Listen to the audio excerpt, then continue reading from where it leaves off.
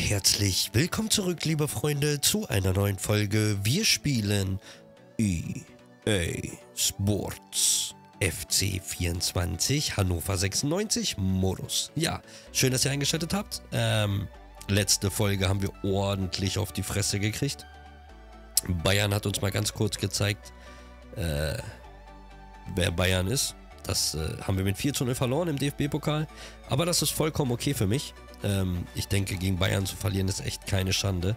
Das ist durchaus ähm, ähm, immer möglich, dass man da wirklich einen Arsch voll bekommt. Ne? Das ist äh, für mich persönlich die beste Mannschaft Deutschlands. Jetzt habe ich wahrscheinlich Shitstorm, aber es ist für mich einfach so. Und auch da nebenbei, jeder, der zu mir sagt, äh, scheiß Bayern, kaufen Liga kaputt, bla bla bla. Im Endeffekt macht es jeder. Jeder macht das so. Jeder kauft dann im Endeffekt von jedem die Liga irgendwo irgendwie auch kaputt. Ähm und äh, jede Mannschaft, jede Mannschaft, die in, die, die in diesem ähm, ähm, ähm, Bereich wäre wie Bayern, würde das auch so handhaben und würde das so machen. Davon lebt einfach der Fußball. So ist leider auch der Fußball, dass dann auch so kleine Vereine wie Hannover 96 oder auch andere äh, ähm, es schwer haben, auch Topspieler, wenn sie da mal einen haben, der wirklich auf richtig, richtig, richtig hohem Niveau spielt, zu halten. Deshalb haben es ja auch Vereine wie, wie Gladbach oder auch Frankfurt oder äh, äh, wie sie alle heißen, wirklich sich, zu, sich zur Aufgabe gemacht, Spieler auszubilden, richtig gut zu machen und für viel, viel Geld zu verkaufen. Und, und das haben die ja, äh, äh vor allem Gladbach, über Jahre vorbildlich auch gemacht. Ne? Ähm, auch Frankfurt, heftig, was die da äh, äh manchmal ne, so für Spieler verkaufen. Diesen, diesen Kolomoani, wie, wie viel Geld über bitte. Das, das ist ja. Irgendwo auf der Welt verhungern Menschen und, und hier reden wir über Millionenbeträge für. Boah, verrückt. Verrückt, wirklich verrückt. Aber gut, wir wollen da gar nicht so lange drüber quatschen und wollen einfach wieder direkt reingehen. Ähm, wir machen erstmal weiter. Unsere Spieler sind noch platt und wahrscheinlich auch noch traurig von der letzten Niederlage. So viel Pause ist allerdings nicht. Und dann treffen wir schon auf Hertha. Ähm, die sind in der Tabelle auf Platz 6. Das letzte Mal, als wir gegen Platz 6 gespielt haben, war es noch Paderborn. Da haben wir 1-1 gespielt. Jetzt müssen wir mal wieder einen Sieg holen.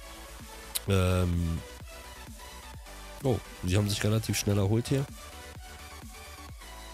Äh, ich würde Vogelsammer gerne tauschen und würde dafür Schaub wieder reinholen. Bechuschko ist immer noch äh, nicht richtig fit. EC und Köln werden sich heute den Posten da teilen. Ich weiß, ich muss noch einmal Köln auf dem Flügel spielen lassen für, mein, für meinen Neffe. Das mache ich auch, aber ich, äh, dafür muss, muss wieder mehr Pause dazwischen gewesen sein, dass auch beide richtig fit sind. Ähm, ansonsten würde ich sagen, bleiben wir so und gehen erstmal rein ins Spiel. Können hier dem vielleicht nochmal mitnehmen. Für, für, oh, den brauchen wir wahrscheinlich. Den Besuschkopf. Morgen bin ich ja schon wieder müde. Ähm, ach, Ernst. Ernst können wir mitnehmen.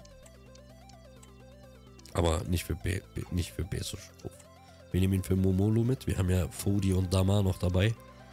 Die werden ja auch auf diesen Positionen irgendwo spielen können. Scott könnten wir auch noch mitnehmen. Aber wie gesagt, das sind doch alles Spieler, die wir nicht mehr lange haben werden. Denn da wird mit Sicherheit der Verein sie zurückholen. Wobei ich, wie gesagt, offen und ehrlich gestehen muss, so schlecht oder so wenig haben wir sie nicht spielen lassen. Immer wenn es eine Chance gibt, haben sie gespielt. Entschuldigt, ich bin immer noch erkältet. Achso, ich wollte noch mal ganz kurz gucken, ob das mit dem äh, Hinterlaufen wieder aus ist. Denn meine Spieler machen das irgendwie nicht mehr. Nicht rollen, Anweisung. Da, Laufart gemischt. Sie sollen aber übergreifend machen. Das ist vielleicht der Fehler, der die ganze Zeit. Tja, ich weiß auch nicht, warum das immer so ist. Da müssen wir jetzt vielleicht öfters mal drauf achten.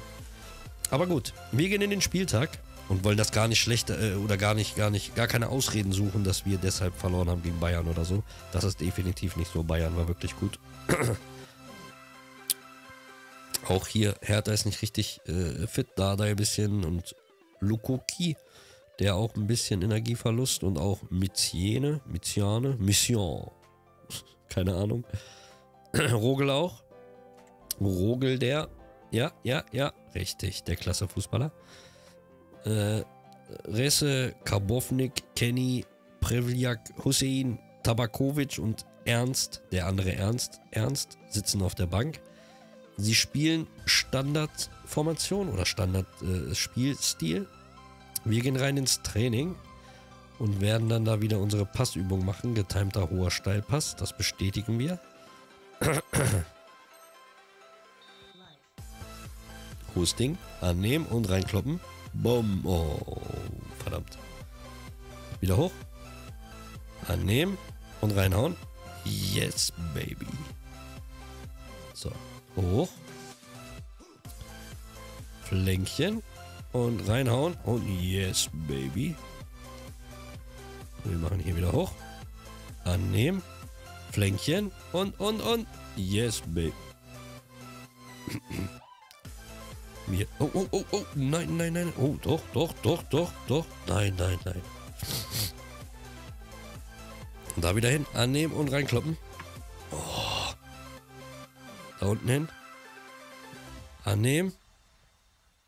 Und reingekloppt. Wir machen ihn da wieder hoch. Annehmen und rein. Klopp. Nicht gut geklappt. Hat nicht gut geklappt. Gut. Wir machen weiter. Ähm, Anstoß.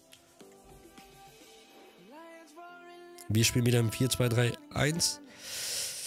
Wir spielen im Olympiastadion am 30. September 2023 um 13 Uhr. Schiedsrichter ist Vincent Lentvogt. Äh, wir spielen auf Legende auf 5 Minuten und in Berlin regnet es. Ähm, ja. Wir wollen Partie starten. Auf Legende natürlich. Haben jetzt die erste Niederlage, noch vier und wir schalten runter. Ah ne, drei, ne? Fünf zum Hochschalten, drei zum Runterschalten. So haben wir das einmal gemacht. Er zählt im letzten Spiel zwei Tore. Oh, toll. Sind ja super Voraussetzungen für uns.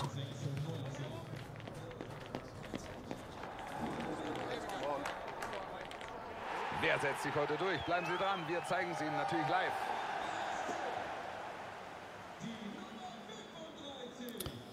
Oh, oh, oh. Schön, dass Sie eingeschaltet haben, liebe Fußballfreunde. Wir melden uns heute aus dem regnerischen Olympia. Ich glaube, wir brauchen mal wieder ein Erfolgserlebnis. Auf den Kommentatoren Nur so ein kleines. und Frank Buschmann Platz genommen. Und wir zeigen Ihnen jetzt eine Begegnung aus der zweiten Bundesliga. Hertha BSC gegen Hannover 96. Oh, ich glaube, das wird interessant heute. Die beiden im direkten Duell. Es kann nur hochklassigen Fußball geben. Tja, da redet ein richtiger Fachmann. So, rüber, auf die andere Seite. Machen Sie gut da im Aufbau. Aber dann verlieren Direkt mit drei Leuten, habt ihr gesehen? Eigentlich durchaus vielversprechend aus. Das ist die Aufstellung, mit der Hannover in dieses Spiel geht.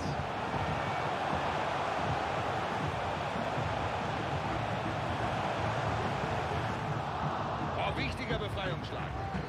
Die Chance Was? Noch gerettet. Stark, Halstenberg, Junge.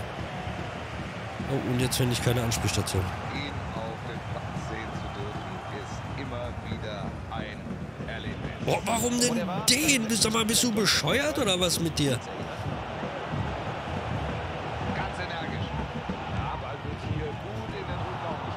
Verstehe ich nicht. Der sollte den ersten in die Mitte spielen und nicht da hinten zum, zum, weiß ich nicht wohin.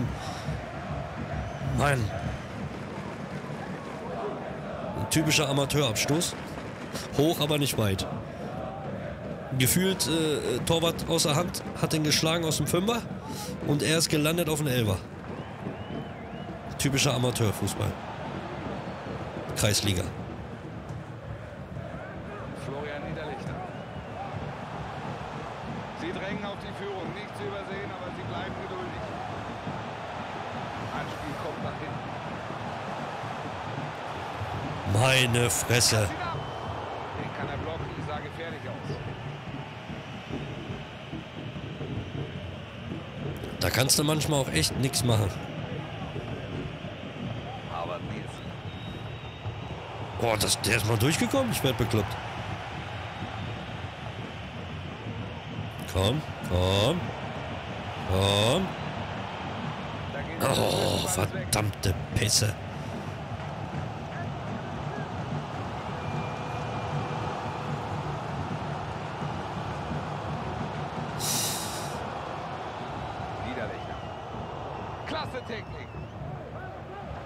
Spiel doch mit, Mann. Warum denn dauert das so lange da oben, Mann? Ich dreh doch durch hier noch.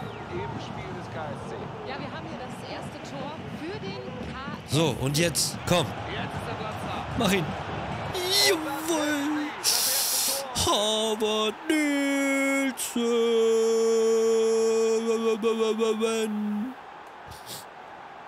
Traumhaft.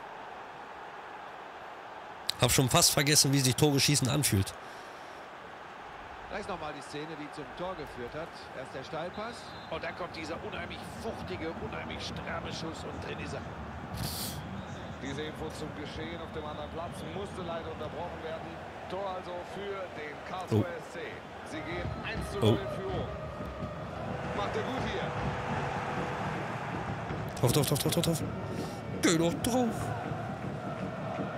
Ja, das ist Pressing. Lukoki, Cookie. viel Auge hier. Und dann Ich darf nur nicht wieder zu leichtsinnig werden. Merkt ihr, ich werde schon wieder so, och ja, Tüdelü.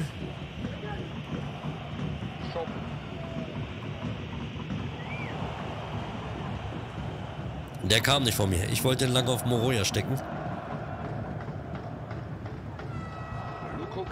Luke Cookie. Ich mag den Namen. So nenne ich meinen Sohn, wenn ich meinen kriege. Also noch einen kriege. Ich habe ja schon einen. Luke Cookie. Oh, oh, oh. Stark. Moroja, Junge. Moroja ist auch echt Liebe. Bei der Ecke und die Fans auf den Ausgleich. Sehr gutes Technik, das war wichtig. Der Ball ist im Aus, es geht hier mit Abstand Clever, weiter. oder? Clever.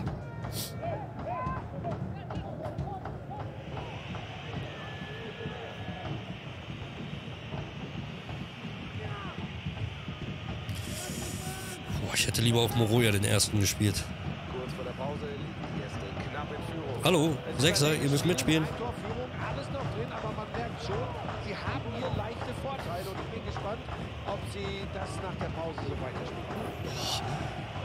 Der Köhn, da haut er hier so eine Zwiebel raus. Das ist ja... Oh.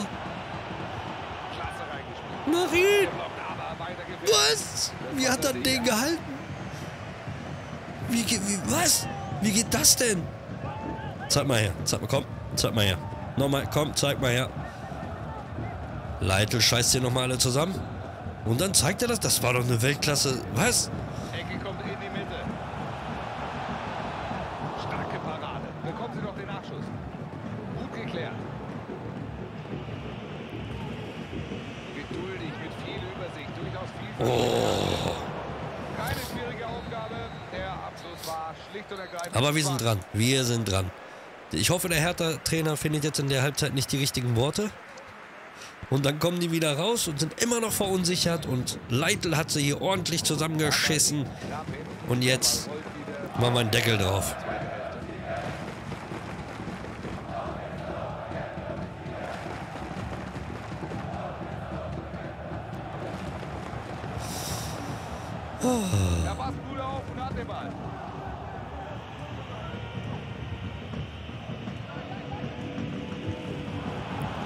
Gut, gut, gut, gut, gut, gut.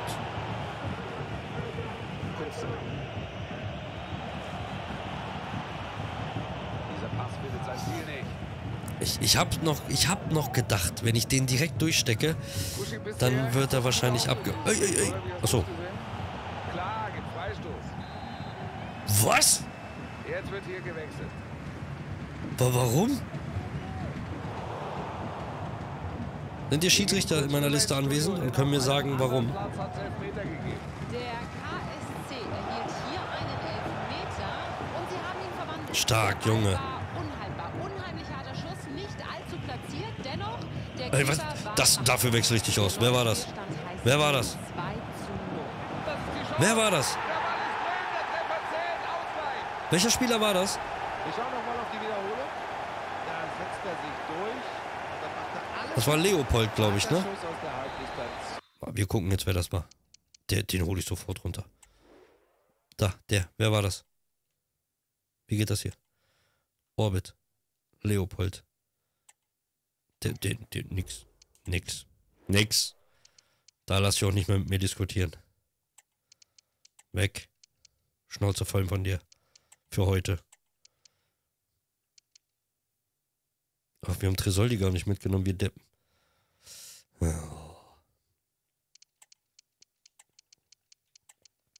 Wir müssen aber was machen hier.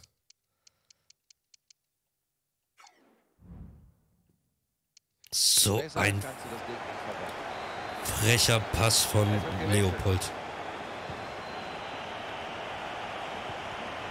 Schupp. Das macht ein ganzes Spiel kaputt. Na gut. Und der Trainer hat vielleicht doch die richtigen Worte gefunden, aber trotzdem, das ist so ein Pass darfst du niemals spielen. Niemals. Rese.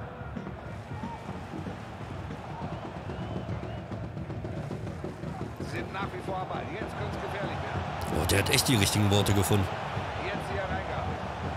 Chance vielleicht. Abwehr ist da. Gute Chance. War aber sogar noch mehr. Ja, einfach Das ist wohl doch ein Redner, der war nicht die ideale Option. Trainer. Ist Dardai da noch der Trainer oder ist der auch schon wieder weg?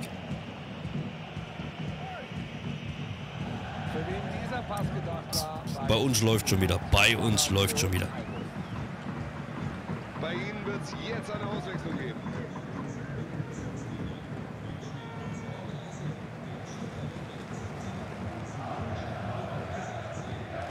Sie drängen, sie drücken, sie wollen die Führung. Boah. Durchaus Zeit, sieht gut aus, was sie da machen. Warten wir das mal ab, vielleicht kann jetzt was entstehen.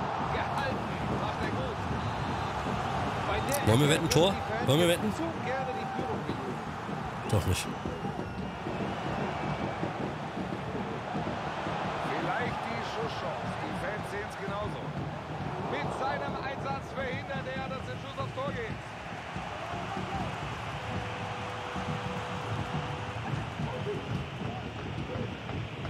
Sieht nicht ungefährlich aus. Jetzt vielleicht der Konter. Der Ballverlust Oh Gott, ey.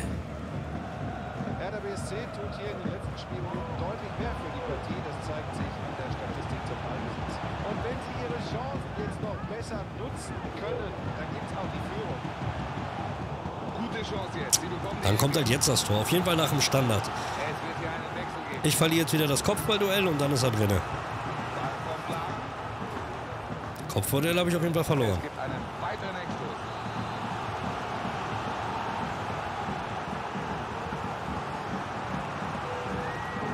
Zunächst gehalten, aber wir schauen weiter. Genau. Was habe ich gesagt? Parade ist gut, Parade ist richtig gut, aber dann schlägt Guck, ich verliere das Kopfballduell. Das. Spiel ist verflucht. War das die Entscheidung, Buschi? Möglich ist es, es ist nicht mehr viel Zeit, um hier zurückzukommen.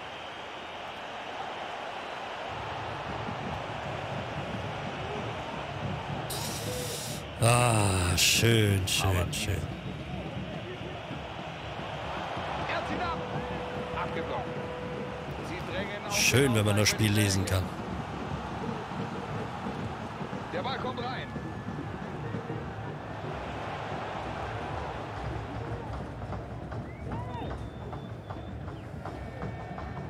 Lukoki.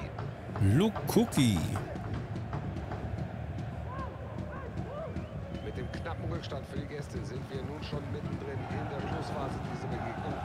Glauben Sie noch an Das, da, da, da. Fans zittern mit, statt nur. Aber das ist im Moment was so schön. Es fehlt das Tempo. Es fehlt ein Ja, das könnte was werden jetzt. Erstmal keine Gefahr mehr. Gut gelöst. Und jetzt geht nach vorne wieder gar nichts. Sechs Minuten haben wir hier noch. Albert Nielsen. Ja, das könnte ihre letzte Chance sein, hier zumindest noch auszugleichen. Den Ball. Gute ist- Verdammt. Schaffen sie noch den Ausgleich. Sie bekommen doch eine Ecke. Den kann er natürlich ganz locker. Schade. Da war bei weitem nicht genug Druck hinter diesem Ball.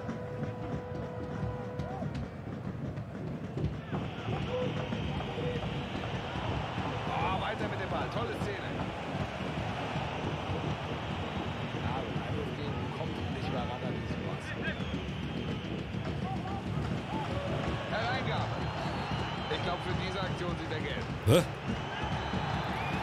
So. Ja, ich bin nicht gut in solchen Situationen.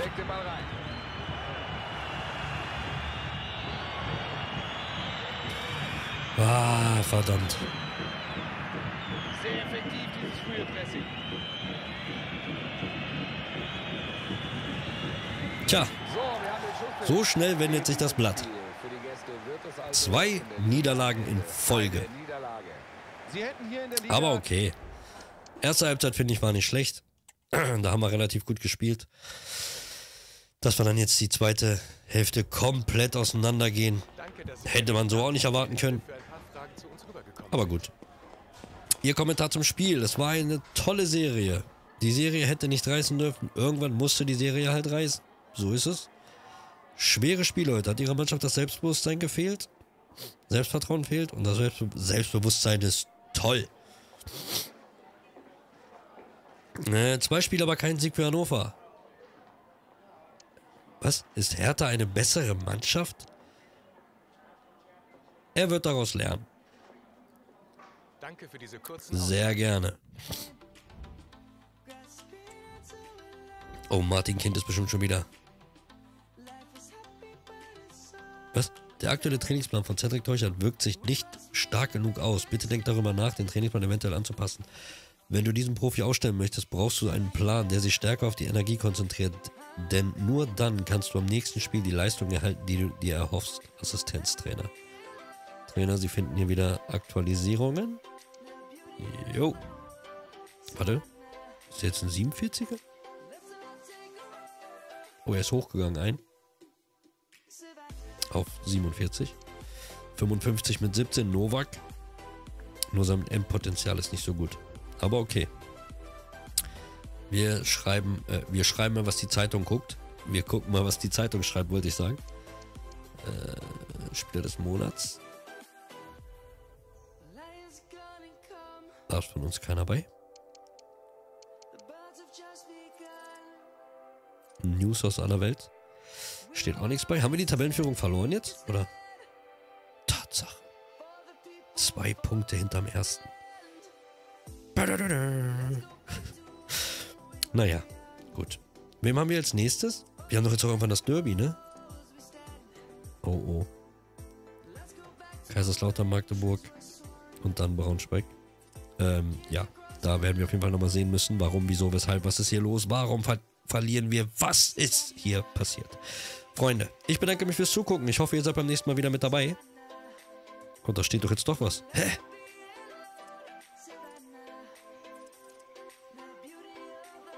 Wo, wo? Ach so, da. Hertha BSC gewinnt 2-1 und beendet ungeschlagene Serie von Hannover. Mit dem Sieg von Hertha ging die ungeschlagene Serie von Hannover 96 zu Ende. Nun fragen sich die Fans natürlich, ob die Formkurve des Teams auch langfristig nach unten zeigen wird. Hannover muss sich jetzt auf jeden Fall erst wieder berappeln. Ja. Achso, bevor ich es wieder vergesse, dann ändern wir den Trainingsplan nochmal. Und äh, dadurch, dass ja jetzt auch der Pokal weg ist, kann man ja jetzt durchaus wieder auf äh, Leistung gehen für alle Spieler übernehmen. Und ja, die Jungs haben jetzt Pause, glaube ich. Wie, wie lange? Wir gucken mal eben im Büro. Ja, 1, 2, 3, 4, 5 Tage. Sechs Tage sogar. 1, 2, 3, 4, 5, 6. Am siebten spielen sie dann natürlich. Äh, danach haben sie noch länger Pause, noch länger Pause. Da wird es wieder ein bisschen enger, aber an, ansonsten sollte es das jetzt gewesen sein, ne? Da kommen wir jetzt eigentlich relativ gut mit äh, auf Leistung getrimmt durch. Okay, Freunde. Ähm, das war der wievielte Spieltag? Der neunte Spieltag. Lasst mir gerne was da. Passt auf euch auf. Und wenn ihr Bock habt, Freunde, sehen wir uns in der nächsten Folge wieder. Ciao, ciao.